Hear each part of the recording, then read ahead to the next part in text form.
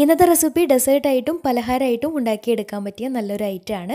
വായിലിട്ടാൽ അലിഞ്ഞു പോകുന്ന നല്ല കാണാൻ നല്ല മൊഞ്ചായിട്ടുള്ള എന്നാൽ നല്ല ടേസ്റ്റി ആയിട്ടുള്ള ഒരു വെറൈറ്റി പലഹാരത്തിന്റെയാണ്.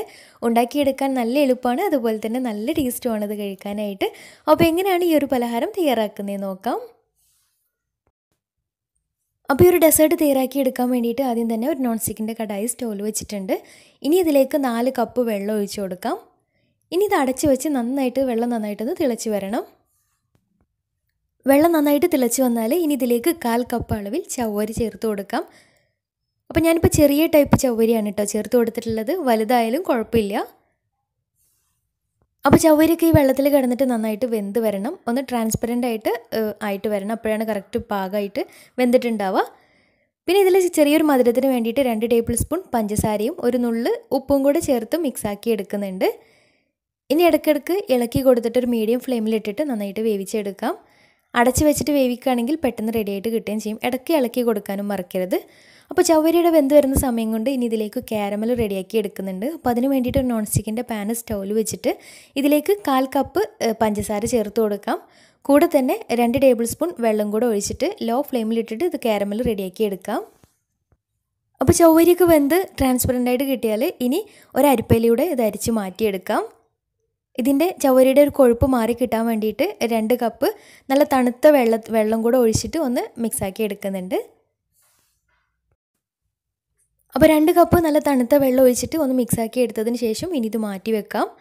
ഐസ് വാട്ടർ ഉണ്ടെങ്കിൽ ഐസ് വാട്ടർ ഉണ്ടോ ഒന്നും കൂടെ ബെറ്റർ എങ്ങനെയായാലും കുഴപ്പമൊന്നുമില്ല. ഇനിയൊരു ബൗളെടുത്ത് അതിലേക്ക് നാല് കോഴിമുട്ട പൊട്ടിച്ചൊഴിക്കാം. ചെറിയ മുട്ട ആണെങ്കിൽ നാലെണ്ണം എടുക്കാം. വലിയ മുട്ട ആണെങ്കിൽ മൂന്നെണ്ണം തന്നെ മതിയാവും. എന്നിട്ട് ഇതിലേക്ക് മധുരത്തിന് ആവശ്യമായിട്ടുള്ള പഞ്ചസാര ചേർത്തിട്ട് നന്നായിട്ടൊന്ന് മിക്സാക്കി എടുക്കാം. ഞാനിപ്പോൾ ഏകദേശം ഒരു കാൽ കപ്പിന് മുകളിലായിട്ട് പഞ്ചസാര ഇതിലേക്ക് ചേർത്ത് കൊടുത്തിട്ടുണ്ട്. അവസാനം മധുരം നോക്കിയിട്ട് ബാലൻസ് ചെയ്തെടുക്കുകയും ചെയ്യാം. ഇനി നല്ലൊരു ഫ്ലേവറിന് വേണ്ടിയിട്ട് ഒരു ടീസ്പൂൺ വല്ല എസൻസും കൂടെ ചേർത്ത് നന്നായിട്ട് മിക്സ് ആക്കി എടുക്കാം. വല്ല എസൻസിന് പകരമായിട്ട് ഏലക്കാപ്പൊടി കയ്യിലുണ്ടെങ്കിൽ ഏലക്കാപ്പൊടി ചേർത്ത് കൊടുത്താലും മതിയാവും. അപ്പോൾ ഈ ഒരു സമയം തന്നെ കാരമൽ നന്നായിട്ട് കളർ മാറി കിട്ടിയിട്ടുണ്ട്. ഒരുപാട് ഡാർക്ക് കളറായിട്ട് കിട്ടേണ്ട.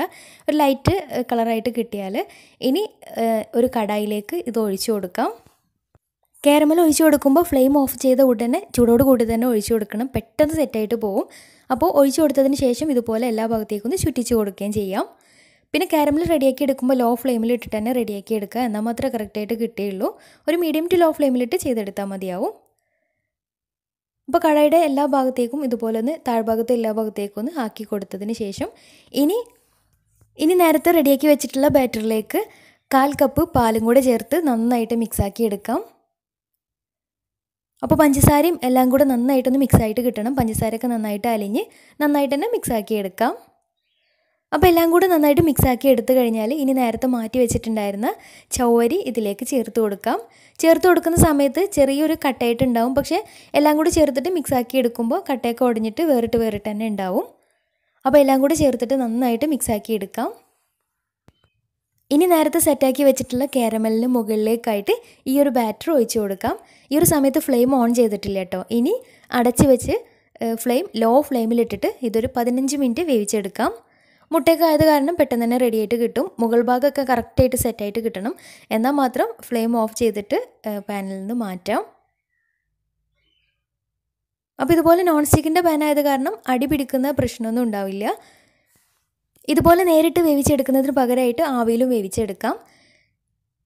അപ്പോൾ മുകൾ ഭാഗം കറക്റ്റായിട്ട് സെറ്റായിട്ട് കിട്ടിയിട്ടുണ്ട്. ഇനി ഫ്ലെയിം ഓഫ് ചെയ്യാം. ഇതുപോലെ നന്നായിട്ട് സെറ്റായതിന് ശേഷം മാത്രം ഫ്ലെയിം ഓഫ് ചെയ്താൽ മതിയാവും. എന്നിട്ട് ഇതൊന്ന് ചൂടാറിയതിന് ശേഷം മാത്രം വേറൊരു പ്ലേറ്റിലേക്ക് ഫ്ലിപ്പ് ചെയ്തെടുക്കാം. അല്ലെങ്കിൽ ചിലപ്പോൾ പൊടിഞ്ഞു പോകാനുള്ള സാധ്യത ഉണ്ട് അപ്പോൾ തണുത്തതിന് ശേഷം മാത്രം വേറൊരു പാത്രത്തിലേക്ക് മാറ്റാം. ഇനി ഇഷ്ടമുള്ള ഷേപ്പിൽ കട്ട് ചെയ്തിട്ട് സെർവ് ചെയ്യാം. നല്ല ടേസ്റ്റി ആയിട്ടുള്ള പുഡിംഗ് ആണ്. തീർച്ചയായിട്ടും ട്രൈ ചെയ്ത് നോക്കാം. മുട്ടയുടെ ഫ്ലേവറൊക്കെ ഇഷ്ടമുള്ളവർക്ക് തീർച്ചയായിട്ടും ഇഷ്ടമാവും കുട്ടികൾക്കൊക്കെ തീർച്ചയായിട്ടും ഇഷ്ടമാവും അപ്പോൾ ട്രൈ ചെയ്ത് നോക്കുക ട്രൈ ചെയ്തിട്ട് നിങ്ങളുടെ ഫീഡ്ബാക്ക്സ് താഴെ കമന്റ് ബോക്സിൽ അറിയിക്കാൻ മറക്കരുത്. അപ്പോൾ ഇന്നത്തെ വീഡിയോ ഇഷ്ടമായെന്ന് വിചാരിക്കുന്നു ഇഷ്ടമായെങ്കിൽ ലൈക്ക് ചെയ്യുക ഫ്രണ്ട്സ് റിലേറ്റീവ്സിനൊക്കെ ഒന്ന് ഷെയർ ചെയ്ത് കൊടുക്കാനും മറക്കരുത്. അപ്പോൾ നല്ല അടിപൊളി വീഡിയോയുമായി വീണ്ടും വരാം. അതുവരെ ടേക്ക് കെയർ ബൈ താങ്ക്